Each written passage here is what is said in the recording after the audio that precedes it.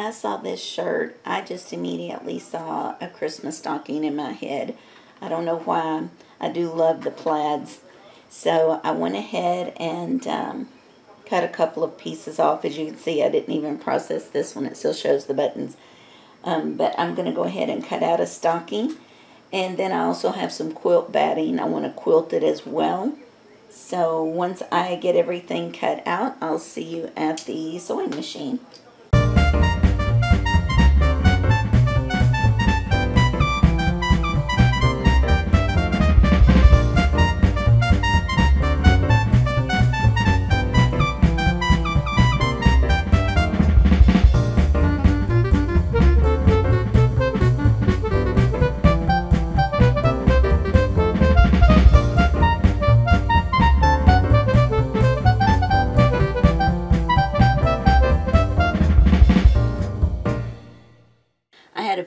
Other shirts that were really thin and had almost a slick, slippery feel to them that I didn't think would do good with quilts, but I did use them for, um, I'm going to use them for the lining in these stockings. So there's a couple of those, but, but I managed to get two of these large stockings cut out of one shirt, and then I have a little left over. So what I thought I would do, because I'm trying to make three of anything I do um, for the family members. So I think at the end, when I finish the next two quilt tops, I'll take all of my scraps and do a patchwork of um, all of the material and do another stocking that way maybe.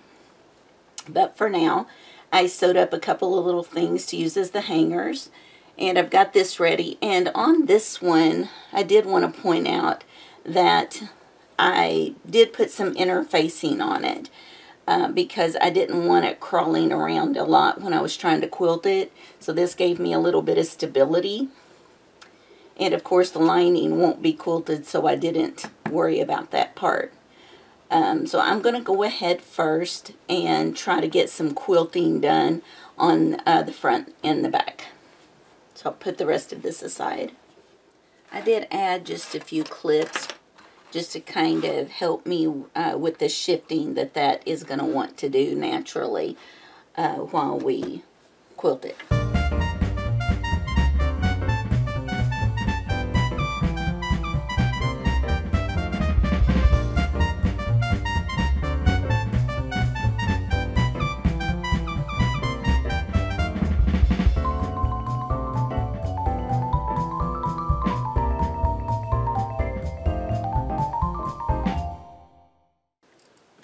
Sure how much of the sewing machine that you can see, but it is different. my brother finally bit the dust, so I am using my Singer Quantum Stylist. And I was able to get all of the quilting done on the front and the back, and I attached the little loop there that will be the hanger. So now I'm going to take the lining pieces and I'm going to attach them to uh, the top of each one of these.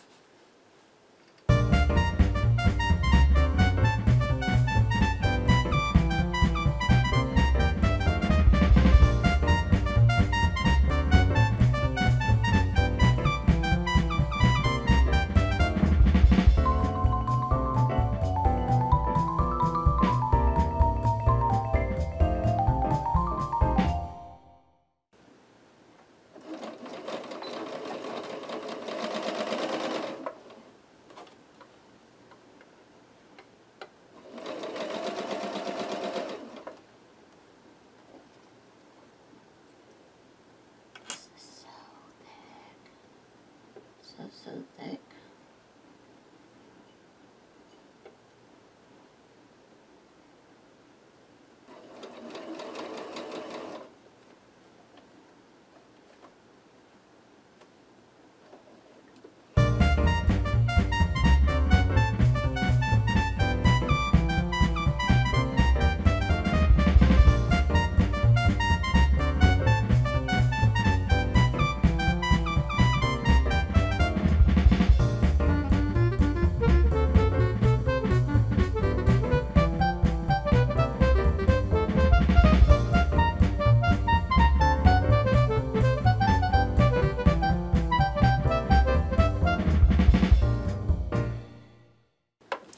thick. So now that we have stitched all the way around, we've left just a small spot open where we can turn the stocking.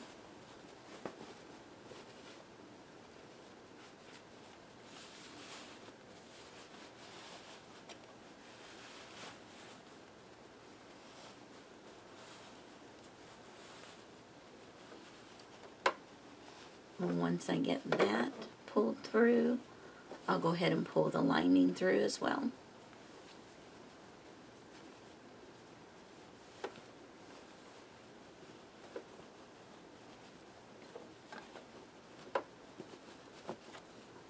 Just going to tuck my hand in and smooth out the stocking.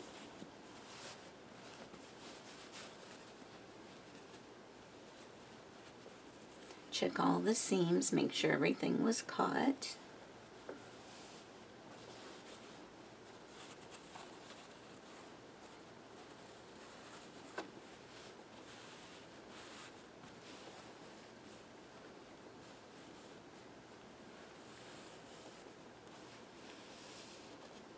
So now we'll just close up the lining and we'll be able to tuck the lining right down inside.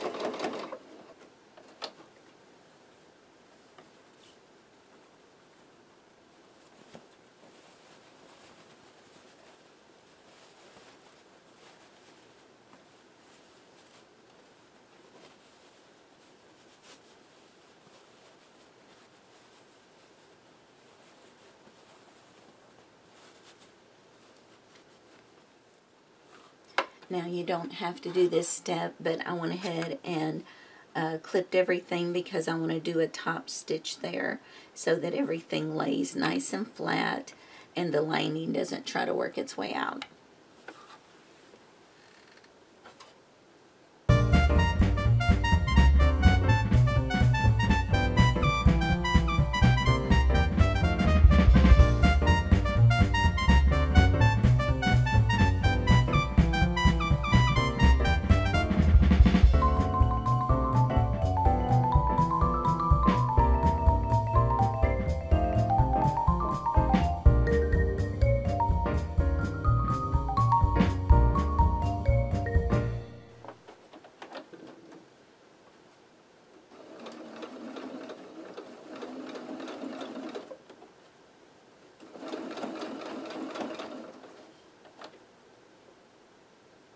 Oops.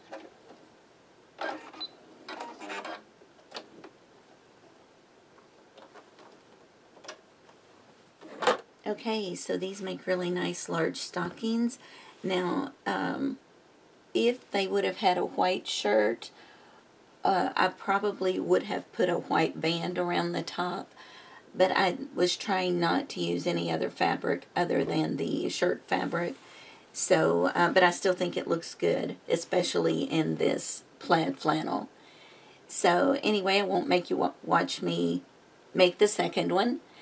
I uh, hope you guys have a great week, and uh, I'll see you back here next week.